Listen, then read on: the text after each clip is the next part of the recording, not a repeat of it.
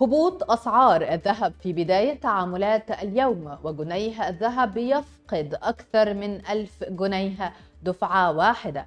وذلك على عكس ما يشهده الذهب على المستوى العالمي والذي ارتفع في بداية التعاملات. ماذا يحدث للذهب؟ وما هي التوقعات الخاصة به؟ هذا ما نوضح لحضراتكم في تغطيتنا. أيضا نعرض لحضراتكم في تغطيتنا أسعار صرف الدولار أمام الجنيه المصري اليوم وما هي المفاجأة التي تنتظر تجار الدولار في السوق السوداء؟ التفاصيل في تغطيتنا. نبدأ مع حضراتكم بالذهب والذي فاجأ الجميع اليوم حيث هبط سعر الذهب اليوم في مصر بعدما سجل ارتفاعا استثنائيا خلال الشهر الماضي. وتراجع سعر الذهب اليوم بشكل مفاجئ وبعد أن وصل سعر الجرام من عيار 21 إلى نحو 3500 جنيه شامل المصنعية على بعض المشغولات. تراجع اليوم ليبدأ من نحو 3200 جنيه للبيع. وذلك بعد أيام من طرح شهادات 27% في بنكي الأهلي ومصر. يذكر أن سعر الذهب قد قفز إلى أعلى قمة يوم السابع والعشرين من ديسمبر الماضي ووصل سعر الجرام الأشهر عند شراء المشغولات الذهبية وهو عيار 21 إلى 3350 جنيها رسميا لأول مرة وسجل الجنيه نحو 26 و400 جنيه إلى 27 ألف جنيه. وذلك في الوقت الذي قفزت فيه أسعار المعدن في بورصة نيويورك لتسجل مستويات جديدة لتصل إلى نحو 2080 دولار حينها مع تثبيت سعر الفائدة على دولار.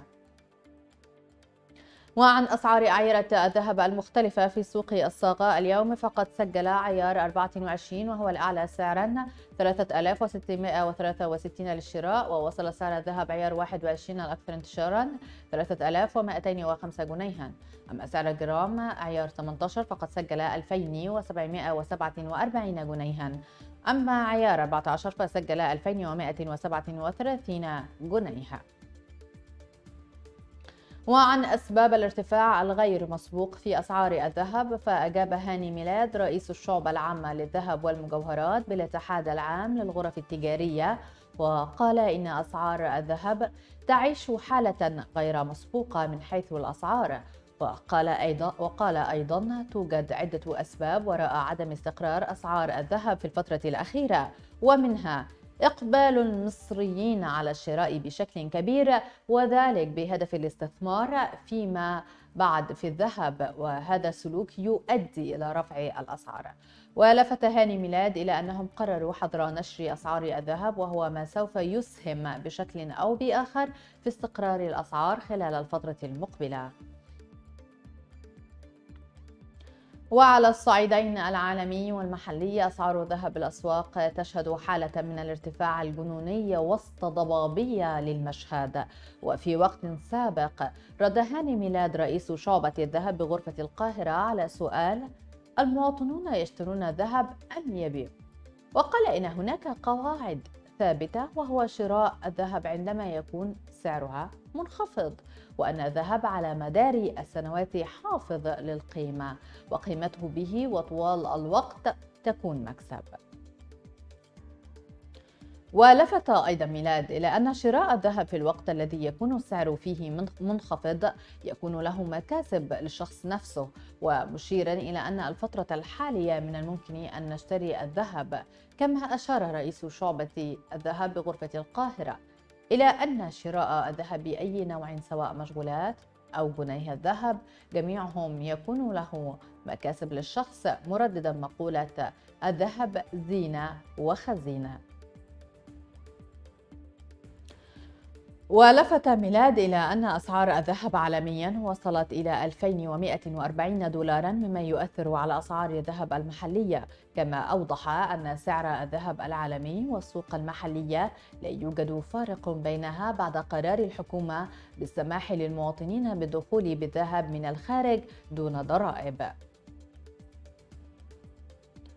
ومن جهة أخرى يلاحق رجال الأمن من وزارة الداخلية الخارجين عن القانون خاصة المتلاعبين بالعملات الأجنبية والمعادن النفيسة لا سيما وأن سوق الذهب قد شهد تقلبات كبيرة خلال الأيام الماضية.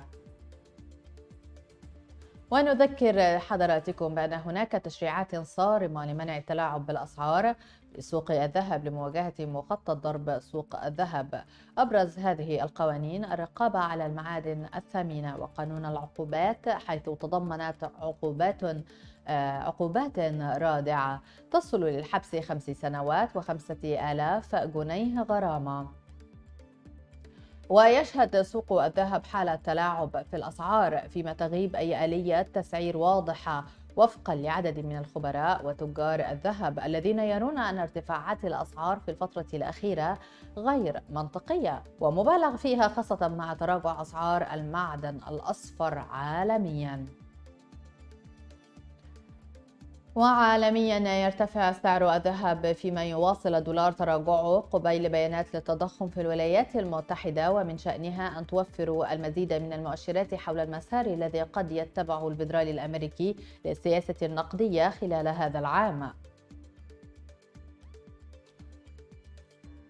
وارتفع في المعاملات الفورية 3 من 10% إلى 2028.78 من 100 للدولار للأونصة كما صعدت العقود الآجلة للذهب. والآن ننقل لحضراتكم أسعار الدولار حيث سجل سعر الدولار 30 جنيه و93 قرشا للبيع و30 جنيه و84 قرشا للشراء. أما عن أسعار أشهر العملات الأجنبية في البنوك المصرية فسجل سعر اليورو 34.8 من 10 جنيه وسجل جنيه الاسترليني 39 جنيه و27 قرشا. أما سعر الريال السعودي فقد سجل 8 جنيهات و24 قرشا للبيع و8 جنيهات و22 قرشا للبيع.